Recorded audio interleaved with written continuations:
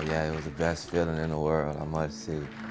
Well, it means that I can have access to a lot of more jobs and a lot of more opportunities that I couldn't have at first because that's the first thing they ask you. Do you have a high school diploma, GED? I achieved something that I doubted myself in, even though I've been through a lot of stuff in my life by my own decisions, I still overruled and accomplished something, and that's, that's a real good feeling. Practice and continue to practice good character while you are here so that it becomes a habit. It's something they never dreamed of, you know, whenever they were coming up and, and in the streets and probably doing the wrong things, they never dreamed that they would have a high school education one day or a college education. And so, you know, I can only imagine the amount of pride, and they should have that pride.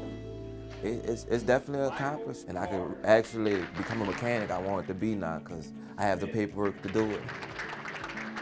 Graduates, I say to you today, congratulations on reaching an important milestone in your life. Job well done, and never give up.